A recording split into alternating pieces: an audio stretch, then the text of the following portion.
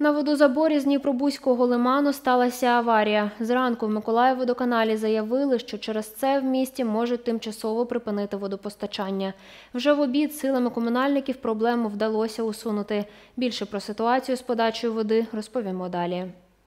Через аварію, яка виникла на водозаборі, вода в кранах містян могла зникнути на кілька днів. На щастя, вона мала технічний характер, тож комунальники оперативно почали ремонтні роботи.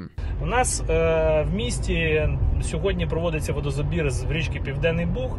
І звичайно, що як і будь-яка техніка, вона виводиться з ладу е, і має свої там якісь ризики. Близько другої дня у Миколаївводоканалі повідомили, що ремонт завершено. Триває заповнення наявних резервуарів води. Поремонтували, воду запускаємо. Зараз наповнюємо наші резервуари, і вже о 5-6 вечора все повинно бути поновитися водопостачання. Так, у корабельному районі, а також в інших частинах міста подачу води не припиняли взагалі. Орієнтовно о 6 вечора централізоване водопостачання в будинках має бути повністю відновлено. Олександр Матюшенко, Роман Базик, телеканал Март для є новин.